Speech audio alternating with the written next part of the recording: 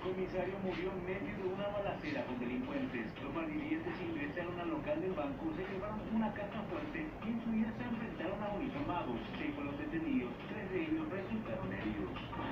El garcismo no va a acompañar el proyecto que plantea un impuesto mínimo del 30% al tabaco y en contrapartida presentará un proyecto que planteará elevar el impuesto selectivo a las bebidas alcohólicas. El impuesto al tabaco en la región promedia 50%. Un nuevo proyecto de ley presentado por legisladores de varios partidos plantea que en Paraguay la tasa mínima sea del 30% y la máxima del 40%. Esto no solo es una recomendación de la Organización Mundial de la Salud, sino también se considera importante para combatir el contrabando de cigarrillos.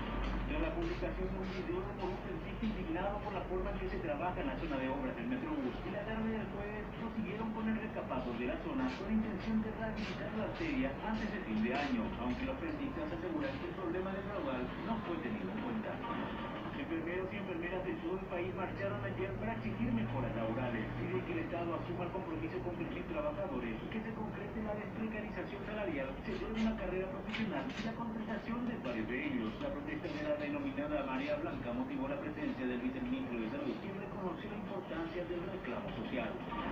En Caguazú descubrieron a un presunto ladrón de motos. Tras su aprehensión, la policía localizó 12 biciclos. Sobre este hombre de 37 años pesaban seis órdenes de captura. La más antigua de ellas data del año 2012.